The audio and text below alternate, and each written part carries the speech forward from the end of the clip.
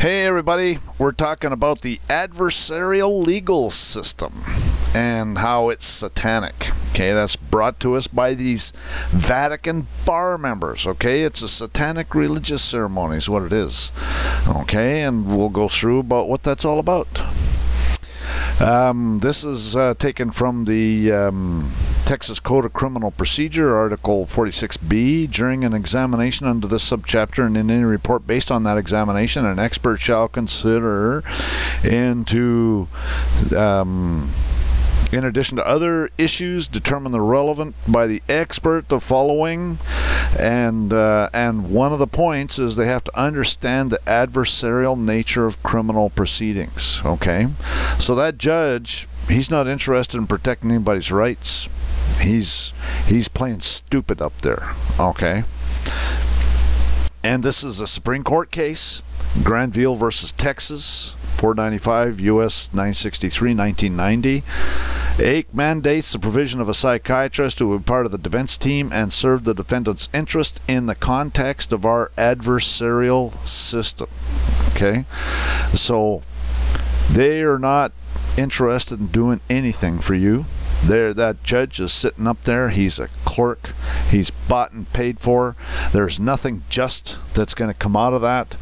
Um, they're going to sell you down the river. I don't even go in there. They have to drag me in there if they want me in there, I'll tell you. And I just file a notice of void judgment afterwards. It's an adversarial system.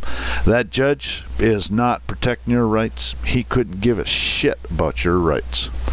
And it's satanic. It really is. Um, this is Canada. Same thing. Okay, this is a Canadian case. Um, in General Accident Assurance versus Chrusz, the court adopted the views expressed by R.J. Sharpe in claiming privilege in the discovery process in law and transition evidence. LSUC Special Lectures, Toronto. At page 163, in other words, litigation privilege aims to facilitate the process, namely the adversary process, while solicitor client privilege aims to protect a relationship, namely the confidential relationship between a lawyer and a client. So the point is, is that this adversarial system all comes from the crown, from the Vatican, from England and the Vatican. And there's no justice that goes on there. They couldn't care less about the right thing or anything else.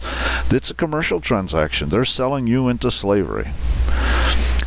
Uh, so it's all coming from bar members. So who are bar members? Well, between 75 and 90 percent of all tr- lawyers are either incompetent, dishonest, or both. And that's Earl Warren, former Chief Justice of the U.S. Supreme Court. Now, Earl Warren was the guy that was in charge of the Warren Commission, you know, which investigated this Kennedy's assassination.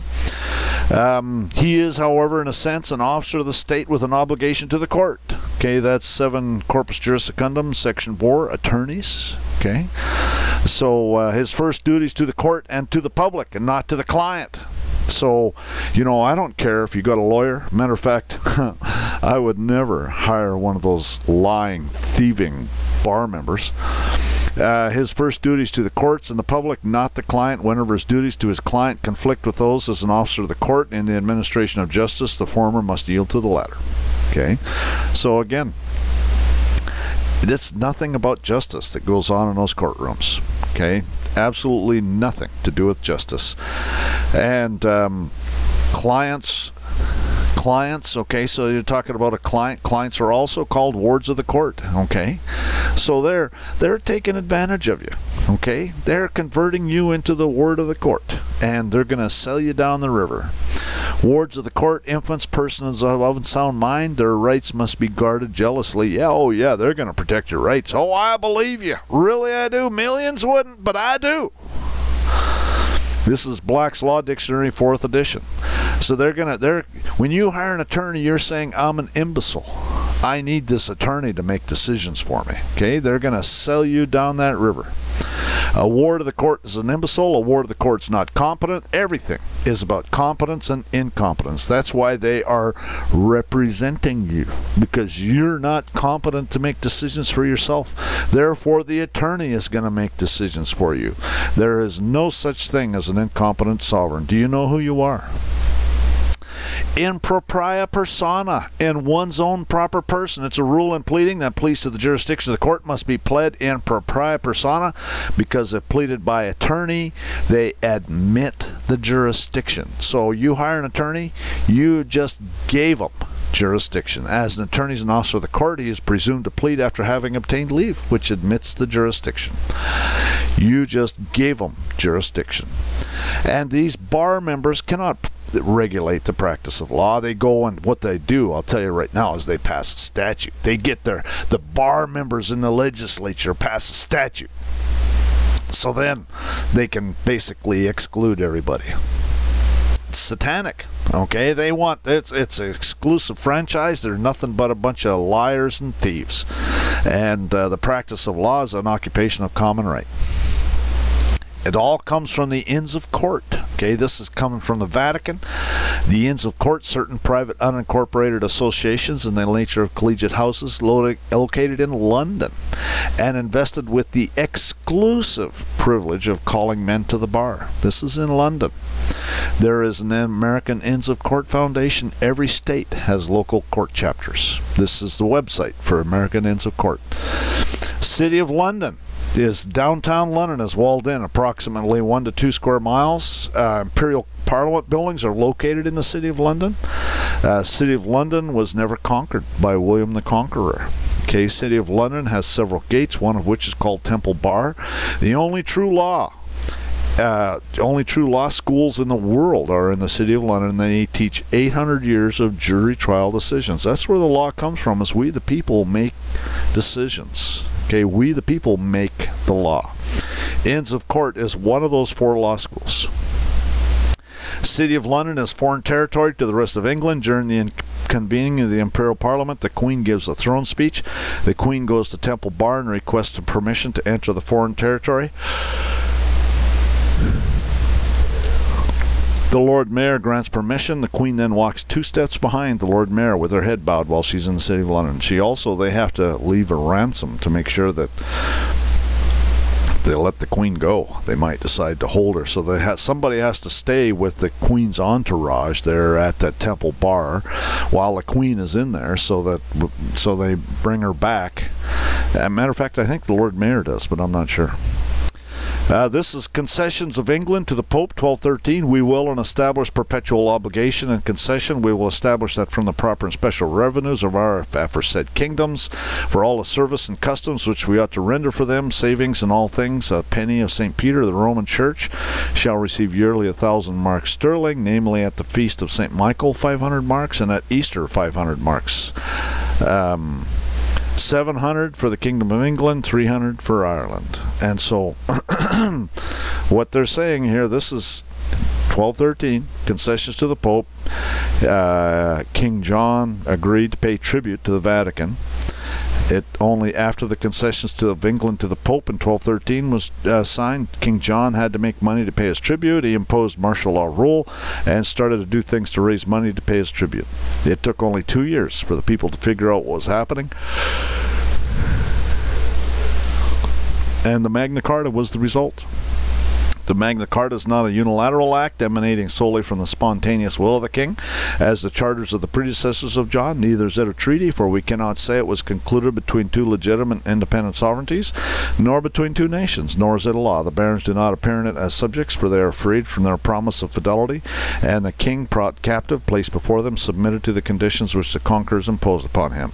Magna Carta is therefore a contract which resembles a treaty concluded between two nations, in that one of the parties in virtue virtue of the law of war can impose its will upon the other. And that's Perlman versus Piché. It's a Quebec court case and Attorney General of Canada.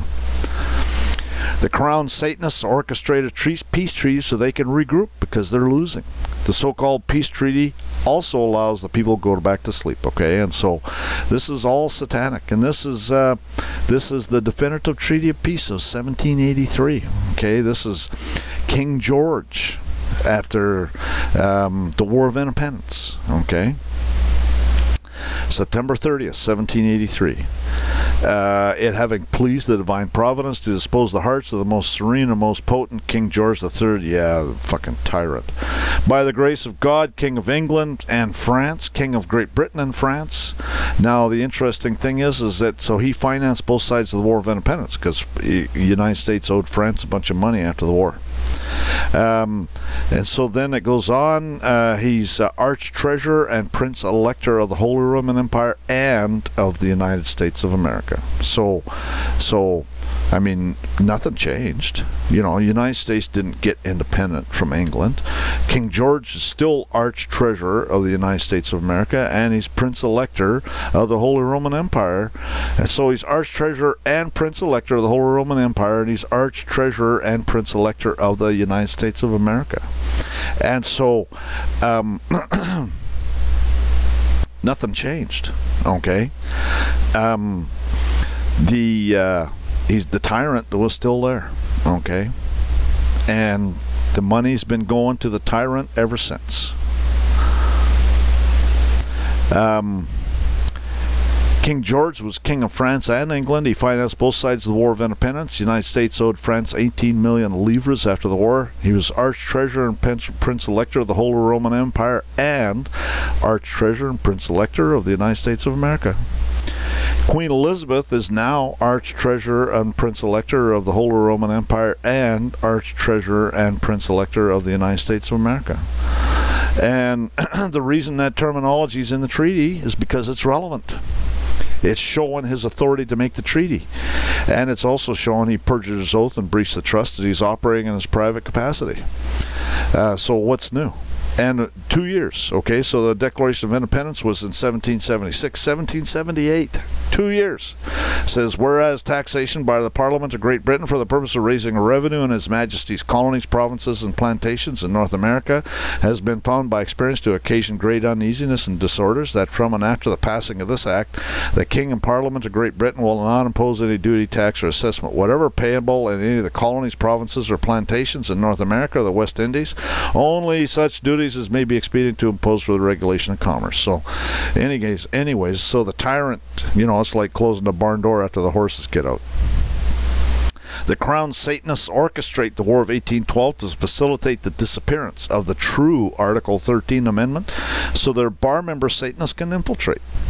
And this is the true Article 15, Article 13 an amendment. If any citizen of the United States shall accept, claim, receive, or retain any title of nobility or honor, or shall, without the consent of Congress, accept and retain any present pension, office, or emolument of any kind whatever from any emperor, king, prince, or foreign power, such person shall cease to be a citizen of the United States and shall be incapable of holding any office of trust or profit under them or either of them. And so, if you know that's how they used to do it okay under them means the federal government and or either of them means the state governments these Satanist bar members orchestrate a bankruptcy so they can eliminate their little common law problem. Okay?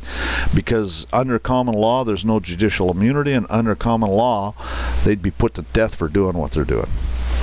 They these Satanists created the slave trade. They orchestrated the War of Independence. They orchestrated the War of 1812 to facilitate the disappearance of the true Article 13 Amendment because they wanted their satanic Jesuit bar members to infiltrate America and seize control of the government. See bar member videos 1, 2, and 3. They orchestrated the Federal Reserve. They orchestrated World War I, World War II, and now World War III. They orchestrated the Civil War in America to convert citizenship into the what the opposite of what the founding fathers intended. Uh, this is U.S. versus Rhodes. The uh, amendment reversed and annulled the original policy of the Constitution. Colgate versus Harvey. And while the 14th Amendment does not create a national citizenship, it has the effect of making that citizenship paramount and dominant instead of derivative and dependent upon state citizenship. U.S. Supreme Court. This is um, U.S. Senate Report number 93-549, dated November 19, 1973.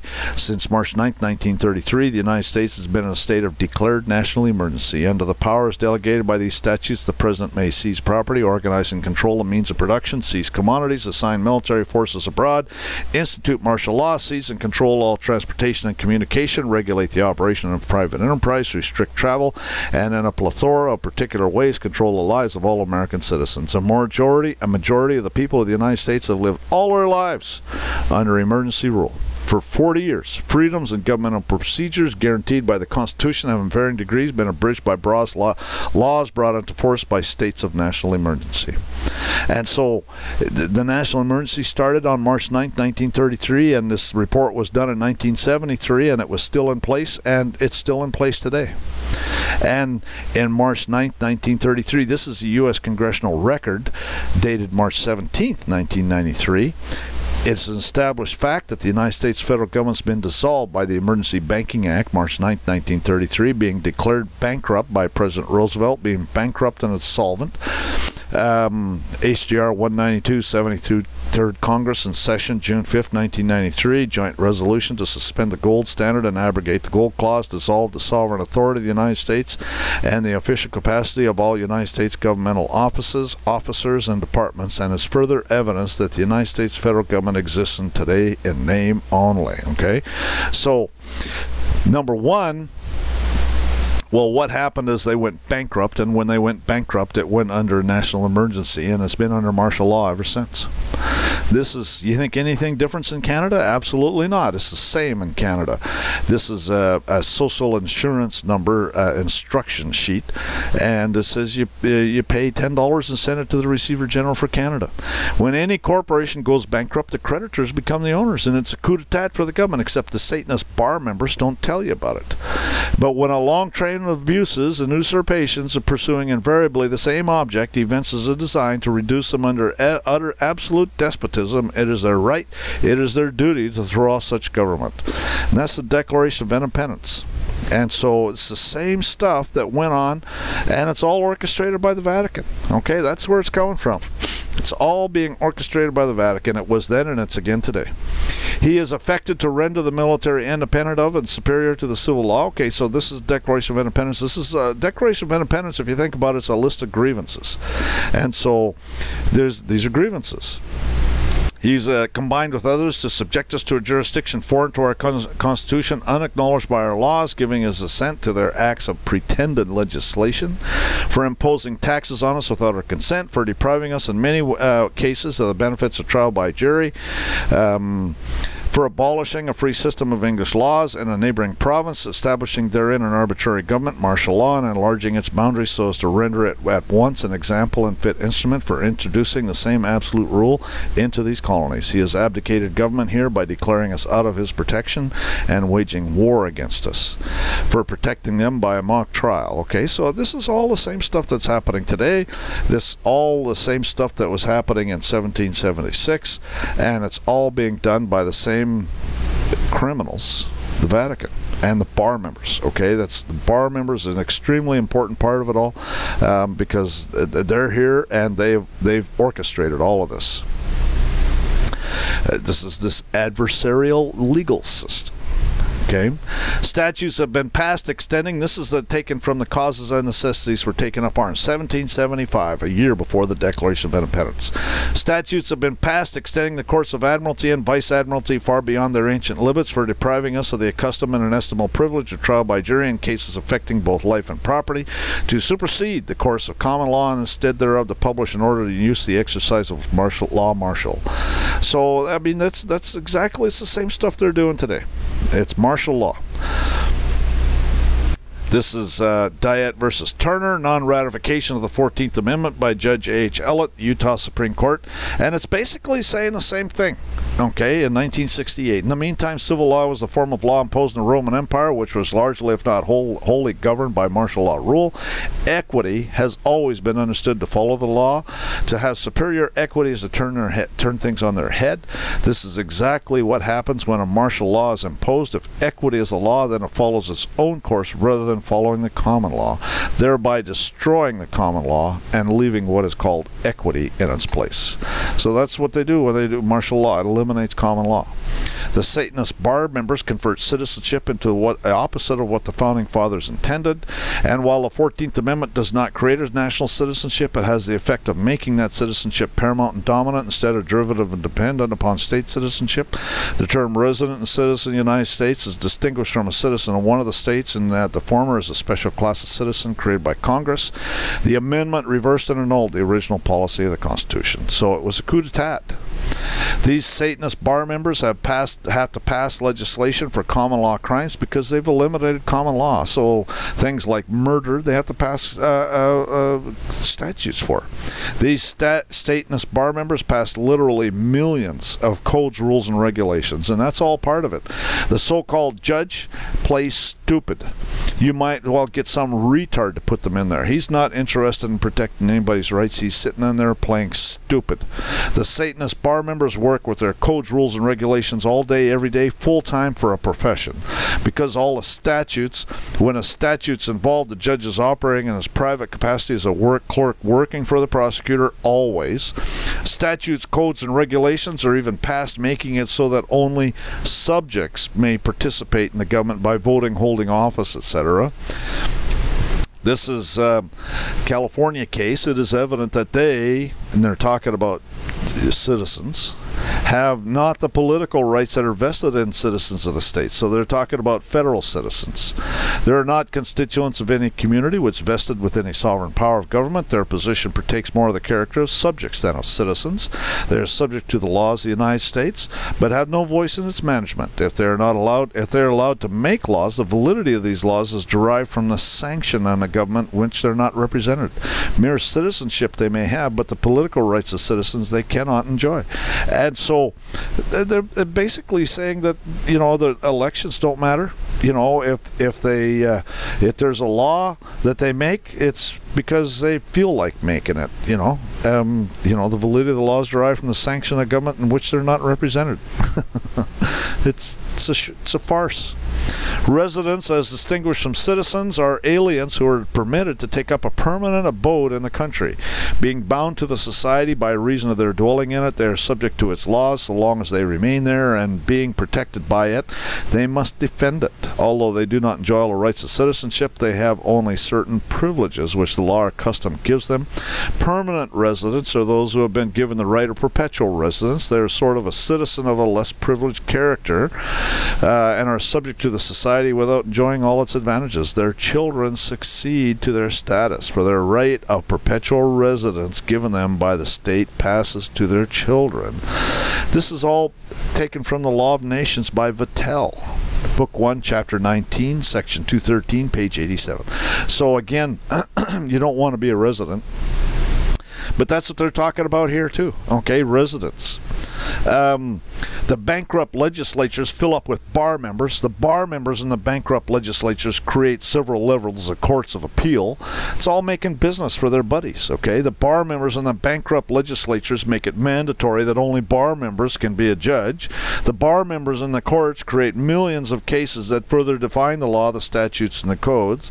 The bar members in the bankrupt legislatures pass statutes and codes giving their code enforcers plausible deniability. The people stop participating in the government. The government starts to do whatever it wants. The government makes war on foreign nations when a statute's involved, which is always the judge's um, a bar. Uh, the bar member is actually a clerk masquerading as a judge.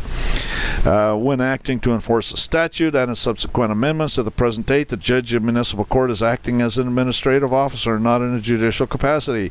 Courts administrating or enforcing statutes do not act judicially, but merely ministerially, but merely act as an extension or for the involved agency, but only a ministerial, not a discretionary capacity. It's a kangaroo court. He's bought and paid for. Uh, it's a kangaroo court. It is the accepted rule not only state courts but of the federal courts as well that when a judge is enforcing administrative law, they're described as mere extensions of the administrative agency for superior reviewing purposes as a ministerial clerk for an agency. Judges who become involved in enforcement of mere statutes, civil or criminal in nature, and otherwise act as mere clerks. They're bought and paid for. It's a show trial. A clerk masquerading as a judge is not competent to do anything judicial like issue warrants or orders. Issue orders or warrants. A clerk masquerading as a judge is operating in his private capacity and has no immunity. Ministerial officers are incompetent to receive grants of judicial power from the legislature. Their acts and, and attempting to exercise such powers are necessarily nullities because bar member clerk on the bench masquerading as a judge is playing stupid. If you do not say something, then it's not said. Okay? If you do not use the right words, they'll pretend you didn't say it. Because of the bankruptcy and the martial law, the clerk masquerading as a judge presume you're one of the slaves, and also makes many presumptions, none of which are in your favor. If you do not say the right things, it has nothing to do with truth or justice. They'll sell you into slavery. They want to they want to assault you with their liar because it gives them jurisdiction.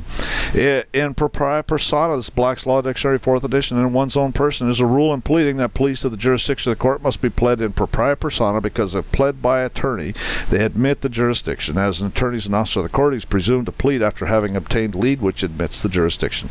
Okay, everything's on presumption. Okay, it's that's martial law. That's the way martial law works. It's all on presumption. They presume you're one of the slaves until you defeat it, and you know it's it's it's it's impossible to defeat it. Okay, they just set it all up so that you can't. It's it's a void judgment. It's a kangaroo court. That's the way to go with it. They want to assault you with their liar so they can sell you into slavery in their commercial jail. The, the controlling rule is that absent a knowing, intelligent waiver, no person may be imprisoned for any offense unless he's represented by counsel at his trial. Okay, they got to give you a lawyer so they can sell you down the river. When the trial of a misdemeanor starts, that no imprisonment may be imposed, even though local law permits it, unless the accused is represented by counsel. They gotta they gotta give you one of their liars so they can sell you down the river. They want to assault you with their liar because the liar won't object to hearsay evidence or testifying by the prosecutor or prosecutorial misconduct or the fact that the so-called judge is actually a clerk masquerading as a judge. If you or your liar do not object to the clerk uh, masquerading as a judge, uh, we'll consider it the truth.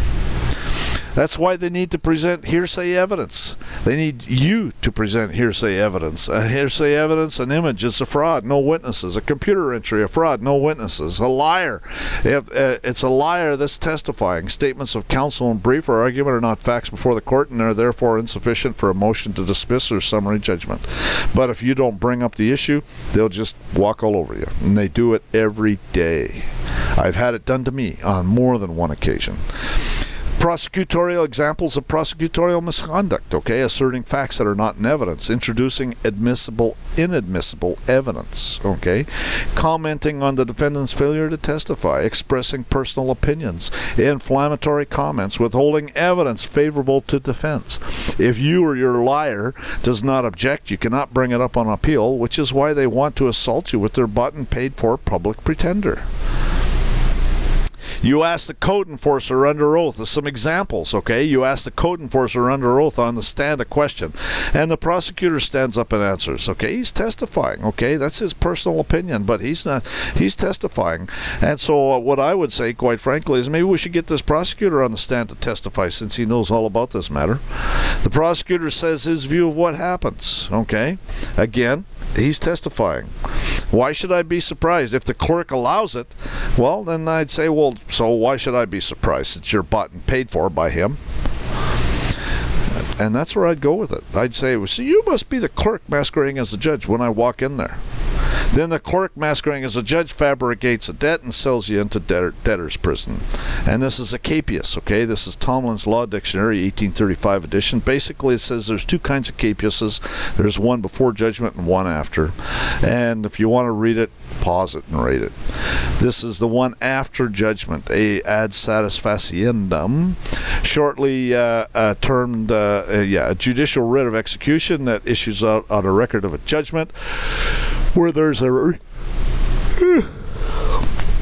where there's a recovery in the courts of debt and damages. By this writ, the sheriff is da- commanded to take the body to the defendant in execution and him safely to keep so that we have his body in court at the return of the writ to satisfy the plaintiff his debt and damages. Okay, so they forge your signature onto a contract and sell you into slavery.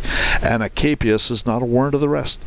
So that's why, remember, I told you they have to give their code enforcers plausible deniability. Okay, the Satanists in the legislature pass laws saying as long as he's operating in good faith, he's covered. Okay, so you know the burden's on that shifts the burden on you to tell him that he's not operating in good faith.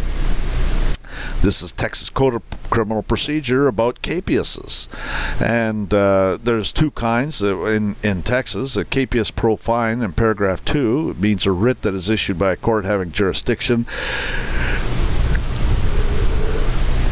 and it's about a fine, basically. If you file a lawsuit, they demand an excise tax. It's a filing fee. Part of the filing fee is to pay errors and omissions insurance for the clerk masquerading as a judge. They're converting a right into a privilege. Once you pay their extortion, you convert the court case into a commercial transaction. It's a satanic religious, religious ceremony. It has absolutely nothing to do with justice. We, the people, have absolutely no business being in these so-called courts. And this is Chisholm versus Georgia, back when we had a decent government. And because it brings in into action and enforces this great and glorious principle that the people are the sovereign of this country and consequently their fellow citizens and joint sovereigns cannot be degraded by appearing with each other in their own courts to have their controversies determined. Okay, so we have no business being in there. Um, do not give them jurisdiction. That's really the solution. Okay? Jurisdiction can be challenged at any time. Jurisdiction, once challenged, cannot be assumed and must be decided. Defense of lack of jurisdiction over the subject matter may be raised at any time, even on appeal. And so that's that's really the answer. Okay? If you want to challenge in personam jurisdiction, you have to do it at the very beginning, but you can challenge subject matter jurisdiction anytime, any place. Uh, defense of lack of sub, uh, jurisdiction over subject subject. Oh, I read that. However late his subjection to jurisdiction has been made, or may be made, in any case, in an inferior or appellate court of the United States, it must be considered and decided before any court can move one further step in the cause, as any movement is necessarily the exercise of jurisdiction. Um, once challenged jurisdiction cannot be assumed, it must be proved to exist. There is no discretion to ignore that lack of jurisdiction. Where jurisdiction is contested, the burden of establishing it rests upon the plaintiff. The burden of proving jurisdiction rests upon the party asserting it. Court must prove on the record all jurisdictional facts related to the jurisdiction asserted. If they so they want to assault you with their liar because it makes business for their Vatican handlers. All governments are owned and operated by the Vatican. All courts are a satanic religious ceremony It helps set up the next bankruptcy. They drag you into their kangaroo court, and the clerk, masquerading as a judge, forges your signature onto their satanic contract to fabricate evidence of a debt. Then they issue a capias to their Satanist order followers to fuller assault you, kidnap you, and falsely imprison you. All this makes business for their whores selling their justice in the Court of Appeals. And uh, ineffective assistance of counsel when they assault you with their liar. Uh, these are some examples failure to object to testifying by the prosecutor prosecutor, failure to object to inadmissible evidence, failure to object to inflammatory statements, failure to object to prosecutor expressing opinions. The best you can hope for is to ask for another show trial because of ineffective assistance of counsel. All this makes business for their bar member whores. It's it's all about the business. They assault you and fabricate some trumped up fictitious charges. Then they give you a public pretender. The public pretender fails to object to the hearsay evidence. The public pretender fails to object to the testifying on the part of the prosecutor. The public pretender fails to object to the prosecutor uh, misconduct. And then they call it a fair trial. Yeah, you got justice. Yeah, right. Yo, I believe you. By accepting the public pretender, you're giving the court jurisdiction. When the public pretender fails to object to the hearsay evidence and the testifying by the prosecutor and the prosecutorial misconduct, there are no appealable issues for the Court of Appeals. If it's not on the record, the Court of Appeals cannot see it, then they make work for their liars at taxpayer expense. The public pretender will get, probably get promoted to the bench. I mean, that's what they do. That's where they go What's the solution? Don't give them jurisdiction. Make sure that your physical address is nowhere in their records. It buys you time to deal with the matter. File a revocation of signatures and file a notice of void judgment. File it into the case. Get right up in their face. And uh, you can actually ask for uh, an order or two, but it's actually, well, there's you can you could actually go and um, you know once the dust settles, let the file a notice of void judgment, and and if you file it into the case, uh, you know they'll probably it'll disappear. but anyways, you can get a clerk masquerading as a judge to rule it, you know that it's void if you want um, you know but i wouldn't even bother. Is there any wonder why christ had such complete and utter contempt for the attorneys of his day? Um, bar members are Baal priests okay and they need to be done with the way that elijah took care of them. And this is Samuel, 1 Samuel 18:40. and 40. And Elijah said unto them, Take the prophets of Baal, and let not one of them escape. And they took them, and Elijah brought them down to the brook Kishon and slew them there. Okay, they need to be put to death. Okay, these people are Satanists. We need to put this evil away from among us. People are getting sold into slavery. What do you think the prisons are full of? Okay, that's all people that are sold into slavery. At common law, there are no prisons. Okay, at common law, let me say that again. At common law, there are no prisons. Okay, there are no prisons at common law. And um, all these prisons are commercial. If a man be found stealing any of his brethren of the children of Israel, maketh merchandise of him, or selleth him, then that thee shall die. Thou shalt put evil away from among you. We have a bunch of Satanists that have taken over the government. We have, um, according to Mark Passio, two thirds of American are practicing Satanists. Okay, we are going to reap the whirlwind. Uh, the judgments of God are coming in a major way. You can see it happening, uh, and, and it's only just beginning. Okay, we are gonna get slapped big time, and until we put this evil away from among us. And through covetousness shall they with feigned words make merchandise of you, whose judgment now of a long time lingereth not, and their damnation slumbereth not.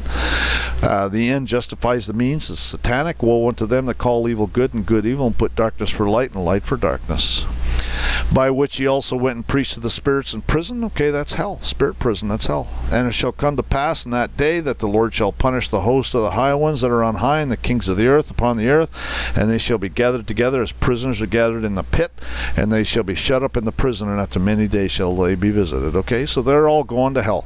And so um, we need to help them get there. It behooves every man who values liberty of conscience for himself to resist invasions of it in the case of others, or the case may, by change of circumstance, become his own.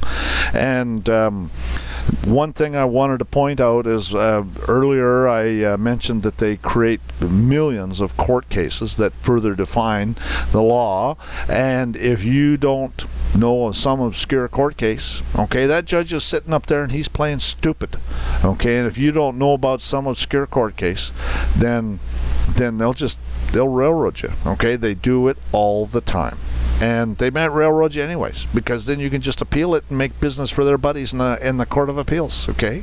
I'm telling you they do that too. They just go ahead and railroad you. And uh, and uh, you know then you got to get the court of appeals. You're making business so then they get promoted because they went and brought all this business to the court of appeals. It's they're, they're just satanists. It behooves every man who values liberty of conscience for himself to resist invasions of it in case of others or their case may by change of circumstances become his own if ye love wealth better than liberty, the tranquility of servitude better than the animating contest of freedom, go home from us in peace. We ask not your counsel or arms. Crouch down and lick the hands which feed you. May your chains set lightly upon you, and may our posterity forget that you were ever our countrymen. And that's Samuel Adams, the father of the American Revolution. Um, when shall it be said in any country of the world, My poor are happy, neither ignorance or distress is to be found among them. My jails are empty of prisoners, my streets of beggars, the aged are not in want, the taxes are not oppressive, the rational world is my friend, because I am friend of its happiness. When these things can be said, then may that country boast of its constitution and government. Well, we have nothing to boast about. We have a bunch of criminals that have seized control of the government, Satanists, okay, and and most of the people they get the government they deserve, okay. Most people are Satanists Satanists, okay? All these so called Christians that have these 501c3 tax exempt churches, you know, they're Satanists because the church cannot speak the truth, okay, by definition. And so that's Satanism, half truths and lies. Um, and uh, the streets are full of beggars. The jails, we have all these Satanist pigs running around putting people in jails. I mean, it's big business. But if the watchmen see the sword come and blow not the trumpet, and the people be not warned of the sword come and take any prisoner from among them, he is taken away in his iniquity.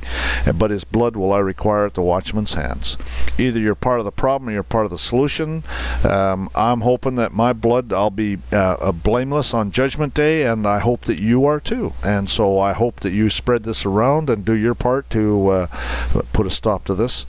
And um, anyways, you're now a watchman. Circulate this video far and wide. Other videos, Bankster Thieves 1 and 2 and 3, and Churchianity series the, about the 501c3 uh, Satanist churches. Um, Do It Yourself Canada Border Pigs, uh, bar members 1, 2, and 3, Unidroit, martial laws here, Do It Yourself Traffic Stop, Do It Yourself Habeas Corpus, Do It Yourself Kangaroo Courts, DC Courts in Texas, Jurisdiction. Copies of these documents can be found in my private group at Yahoo called Administering Your Public Servants. I have YouTube videos that are videos of private information shares that show these and other court citations that are available for a donation. Donations to support this work are appreciated. I prefer gold or silver coin, but as an extremely less desirable alternative, I can accept IOUs, Federal Reserve notes, PayPal, guest checks, money orders, etc. Send me an email for particulars. Um, this is for all of the Satanist uh, revenue officers operating in their private capacity. You can put your uh, your uh, your uh, privileges and benefits up your rectal orifice. Okay, I prefer gold or silver coin. If you find this useful, then you need to pay it forward. If you don't know what pay it forward means, then watch the movie. My blog is sovereigntyinternational.wordpress. My website is sovereigntyinternational.fyi. My email is engineerwin at yahoo. My YouTube profile, Sovereign Living. Facebook community page, Sovereignty International. Facebook private group, Sovereignty International. Yahoo private group, administering your public servants. Google private group, administering your public servants. I hope you get something out of it. Um, we need to put away, we need to get rid of these bar members, okay? These bar members are Satanists, every last one of them.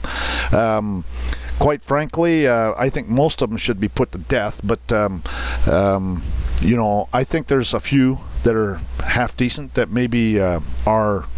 Um, um, maybe they don't deserve death. I don't know. Um, but uh, so each one would have to be handled on a case by case basis. But I think most of them should be put to death. Um, I know some that are you know that don't like it any more than anybody else you know so um, but I think most of them should be put to death. That's my opinion. Um, anyways I appreciate you taking the time to watch this and um, and I hope you have a real nice day